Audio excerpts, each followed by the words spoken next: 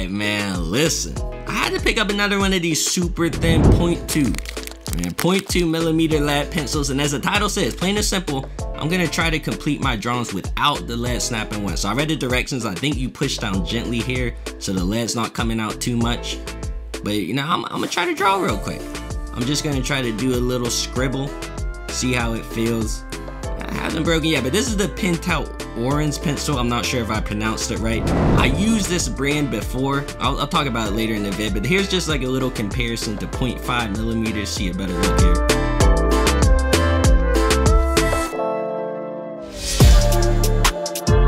Anyway, I'm gonna open up my sketchbook and start the drawing. No time to waste. I'm gonna use my 500 drawing prompts book just to get something random to draw. I can't really think of anything, so just to get something random, I got we got skateboard. We got skateboard. So as the rules say, I'm gonna draw. If the lead snaps once, I gotta stop.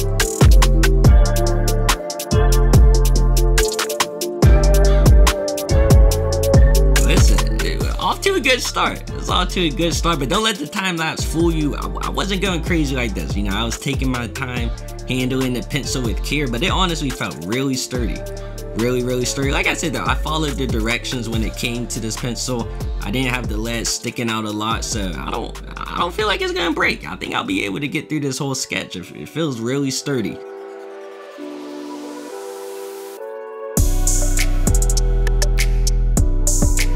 The scariest parts, honestly, were when I went to set it down and use my eraser. Because I, I, was setting it down a little bit hard sometimes. A little bit hard. I, I should have been more careful with that. But the last time I used an Orenz pencil, it was 0.2 as well.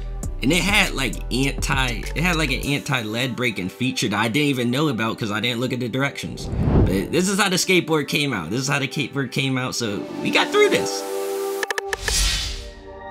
We made it. We made it through the first sketch. So now pick up another one. I gotta pick up another drawing. I'm gonna grab something random real quick. Just to start off, we got handcuffs.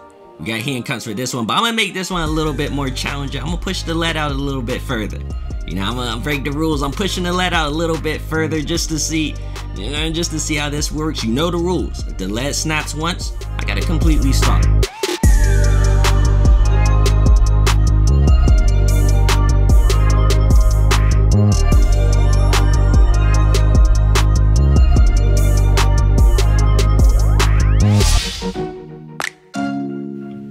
Even even with the lead poking out more, it still felt sturdy. It still felt felt like more sturdy than my 0.5 millimeter, 0.7 millimeter pencil. To be honest with you, I, I thought I would. It just snapped here. It snapped here, man. It, it, snapped here. I thought it was good, but it snapped here. I'll, I'll show slow motion. Instant replay right there. You can see that little snap. But yeah, right, I had to stop the drawing. You know, that's the rules. It snapped once. I had to stop, but you know, I didn't want to draw handcuffs anyway. But anyway, I'm gonna grab out my bigger sketchbook. It's getting serious now, man. The games are over. You know, the, the little games are over. We, we gotta get serious. I'm gonna try to draw out one of my characters using this pencil. The lead can't snap once. If it snaps once, I'm done. But this is what I'm working with. This is how much I'm gonna have the lead poking out. Just for comparison, I'm gonna show with my the biggest lead pencil I have, which is the Fat Boy. It's 5.5 millimeters, I think yeah, just just so you see that little comparison. But we gotta get to it. We gotta get to it. I got a lot of confidence though, cause um, as you saw earlier, I made it through that skateboard sketch, the full sketch. So I got, you know, I got confidence I can get through drawing this full character.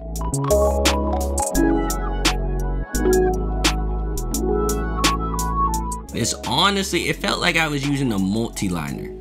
It really felt like I was just using one of my outliners because uh, I shown you earlier, the, I didn't have the lead sticking out barely at all. you know, man. You know, because I, I came in, I wasn't going to add too many details to the character. You know, I was just going to draw like the basic, even drawing with a bald head, just a basic t-shirt and everything. But you know, I, I felt confident. I felt like I could draw more.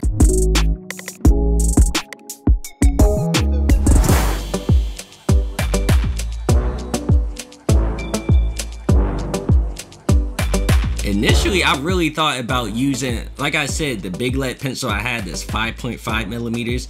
I was gonna draw with that until the lead snapped. I was gonna do that, but it would, like, it wouldn't snap at all. It would, it would take like, I'd be drawing for like a full week until the lead ran out.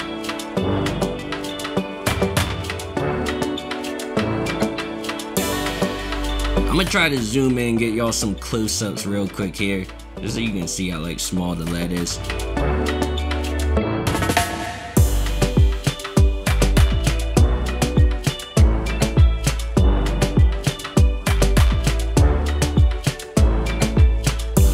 My guy out. I gotta add in some last little details here as long as it doesn't snap. You can see, man, we got the character right here. We got him right here using the point two lead pencil. I got it right here. This is the MVP right here, man. This is the MVP. I'm gonna have to use this pencil again. But anyway, I got some more videos if you guys want to check it out. Thank you for watching this one. I'm gonna be dropping more this week, so please subscribe if you haven't already, and I'm out.